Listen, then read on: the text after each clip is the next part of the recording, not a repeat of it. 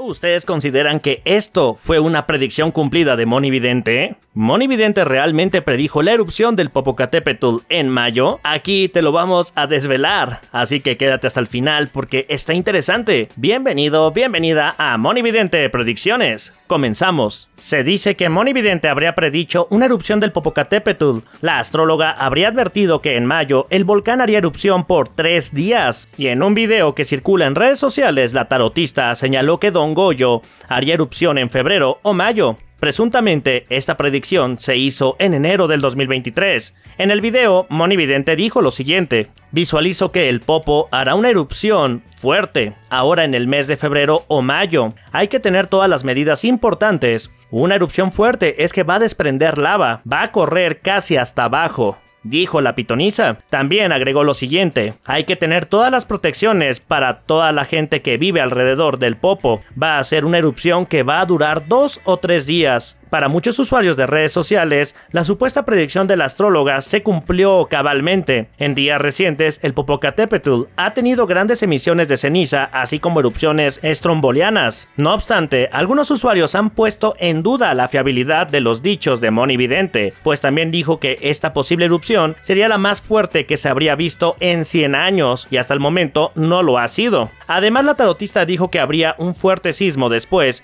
y que la erupción del Popo coincidiría con con la de otros importantes volcanes de Ecuador y Guatemala, lo cual tampoco ha ocurrido. Mucha gente acusa de que esta predicción se ha cumplido a medias, más bien no se ha cumplido, le ha atinado y no ha salido como ella esperaba. La realidad es que el Popo sí ha tenido erupciones con lava, bueno, material incandescente. La cosa aquí es que mayo todavía no termina y el Popo no ha vuelto a su letardo, no se ha vuelto a dormir, continúa activo y el problema aquí es que podría volver a entrar en erupción. De hecho, según información directa del gobierno que aconseja a los ciudadanos a evacuar en caso de erupción, practiquen algunos simulacros y tengan memorizado dónde están las avenidas o carreteras de evacuación más cercanas o dónde están los refugios asignados por el mismo gobierno. También ha aconsejado, pues bueno, la mochilita con los materiales esenciales que subiremos un video más adelante explicando qué debe contener esta mochila, qué debes de hacer en caso de que el popo haga erupción, pero no es el punto ahorita. Lo que trato de decirles es que las personas de los poblados aledaños al Popocatépetl han informado que si están en estado de alerta y asustados porque ha rugido como nunca, que nunca mucha gente que ha pasado ahí toda su vida habían escuchado ese tipo de rugidos, entre comillas, por así decir, los ruidos del Popocatépetl. Si te da curiosidad cómo suena, puedes ir a buscar la transmisión en vivo del Popocatépetl y cada que está haciendo exhalaciones suena como truena y como ruge el volcán. Viviendo cerca da mucho miedo, imagínense estar escuchando eso 24/7 y de repente que suene más fuerte y, y no sepa si es solo una expulsión de material incandescente